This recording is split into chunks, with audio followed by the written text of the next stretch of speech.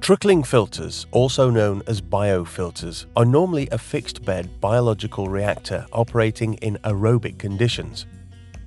In the filter, microorganisms are attached to the inter-packaging material, which was composed of rocks or gravel in the past and is nowadays a wide range of plastic fill media.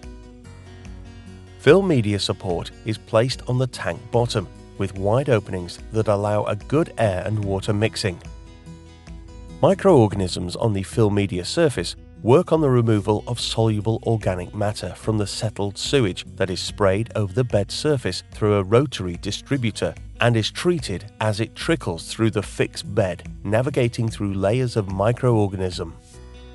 The layers remove pollutants by both absorption and adsorption removing species like nitrite, nitrate, and others. Removal rates can reach up to 95%. In order to avoid clogging, a primary sedimentation process precedes the trickling filter. Also, the design of the rotary distributor has a high impact on the risk of clogging. The rotation velocity of the rotary distributor can be changed by either adjusting the incoming water flow or by using an electrical motor.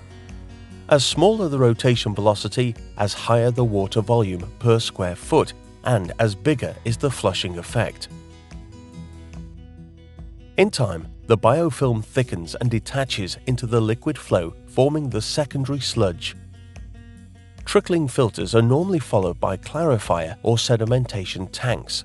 The sludge collected is treated for reuse or prior to disposal. Among the main advantages of this system, it is important to highlight the resistant to shock loadings, high efficiency for ammonia oxidization, small land area required, final effluent is effectively stabilized. The system is self-cleaning, operating with low maintenance requirements. Operational costs are low since wear and tear are reduced due to limited use of mechanical equipment. Furthermore, in comparison with similar methods such as activated sludge, trickling filters are significantly more cost effective as they don't require artificial aeration and have a smaller demand for operational space, resulting in cost reduction.